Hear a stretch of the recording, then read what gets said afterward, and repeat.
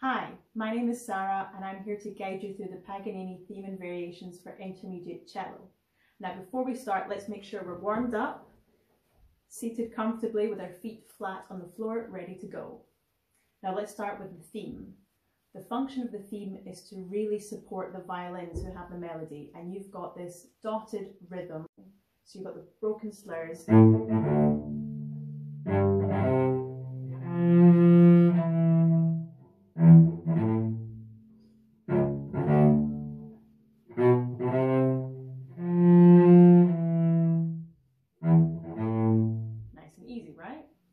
Now, variation one, we have forte and con fuoco written in the music, so the sound's got to be really strong. And we've got something written like this.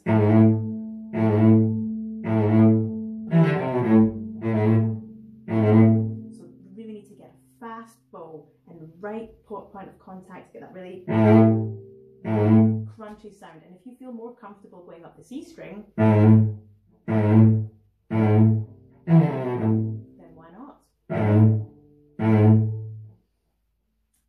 leads to variation two.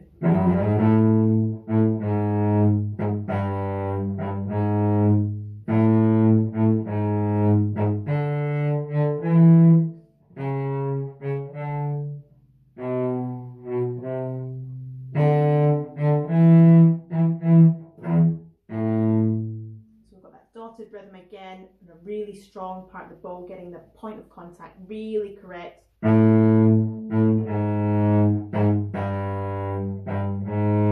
It's a good thing to try and practice these phrases really slowly to get that right sound. And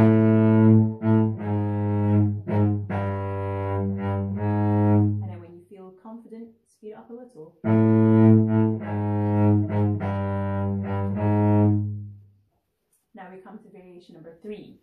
Number three is all about contrast, dynamics, and going from pizzicato to arco.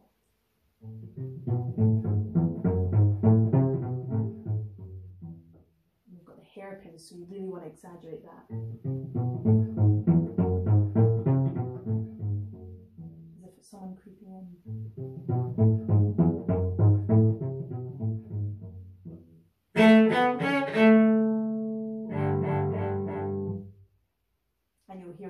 Fits in with the orchestra. Variation 4, this is all about experimenting, finding a really creepy sound. So we've written in here glissandos and harmonics. So you need to try and find these harmonics. Got them here.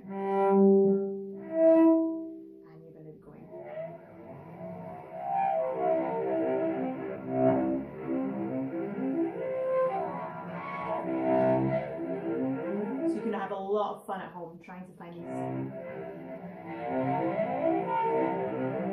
Harmonics. And then after that we've got tremolando.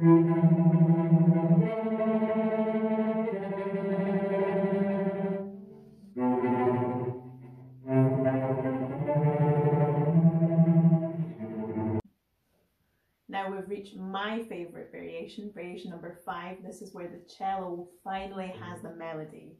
Now this is all about bow distribution and legato playing.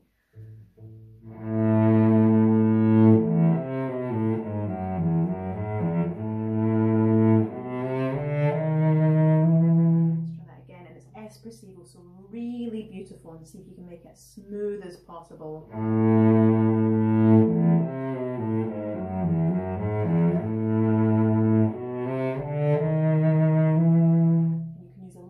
Vibrato as well in the next section.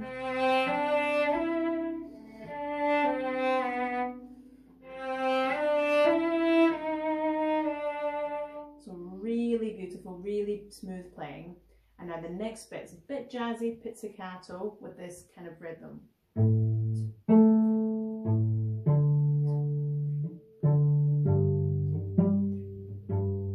So think maybe nice cup of tea.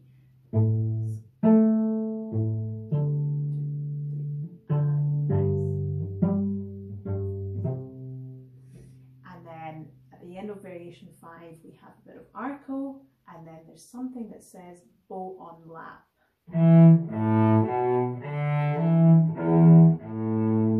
Now I think for cellos it's easier to actually swap the bow to your left hand to prepare for those finger snaps. So I would practice it like this.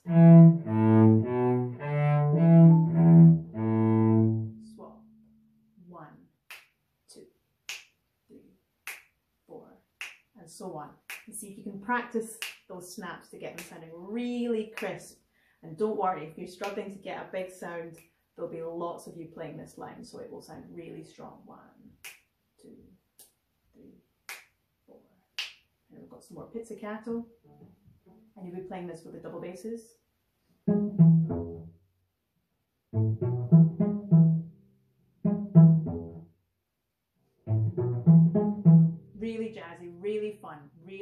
Fun with this. And at the very end, you're going to shout, hey! And that leads us to the grand finale with the whole orchestra, which is a recap of the theme that we played right at the beginning of the piece.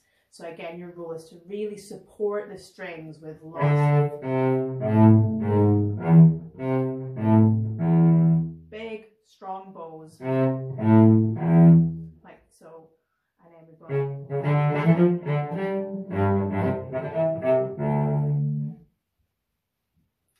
you've got this motif at the very end, which is slightly awkward, but it's marked forte. See if you can get a really strong sound. And